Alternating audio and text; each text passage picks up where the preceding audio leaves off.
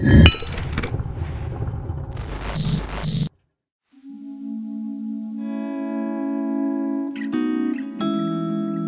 عسر بيلديم في بيت أوهد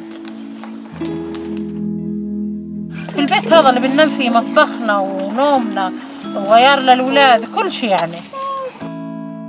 الأكل تبعنا كله بندب تراب أكل اليلاديم الشاي لما سووا كوباية شاي أنت شفته بسبب الرمل اللي هم بقفوا الأولاد اليلاديم بسقيهم مي غير بعملهم ببونج زي هيك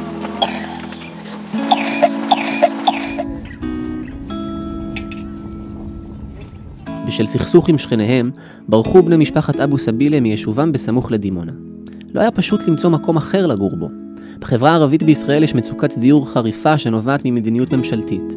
אין תוכניות מתאר מעודכנות ולא נבנים יישובים חדשים. הלכתי לכל המוסדות, המוסדות פה ב- בישראל, אף אחד לא עזר. כל המוסדות הלכתי. לרווחה, ל... לכל מה שבו בארץ הלכתי. בסוף הם נאלצו להקים בית בסמוך לתל שבע על קרקע שמוגדרת כאדמת מדינה. לפני שנתיים הרסה המדינה את הבית שלהם, ומאז הם חיים באוהל, שנהרס גם הוא מדי חודש. באים לפה, הורסים.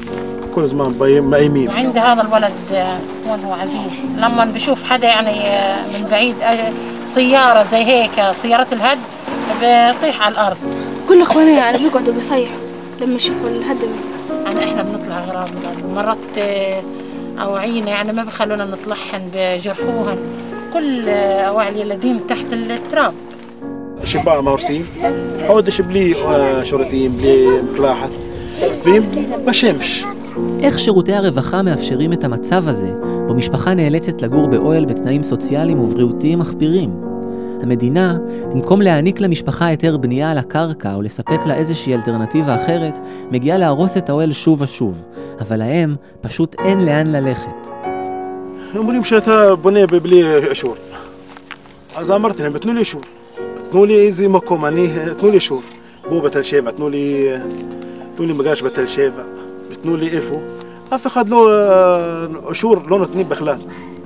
לא נותנים בכלל למגזר, למגזר הדרוזי. לא נותנים. לפני חודש, בעוד היא הורסת את האוהל בפעם ה-20, החרימה המדינה את רכוש המשפחה על מנת להפעיל עליהם לחץ לפנות את המקום. آه، أخذوا السكر آه، الشاي الملح آه، ما خلوش إشي في البيت كل شيء أخذوا الصحوني الحين آه، والكتب آه، وهدوم اليلاديم وبدهم إيانا ندفع 8000 شيكل عشان الكتب.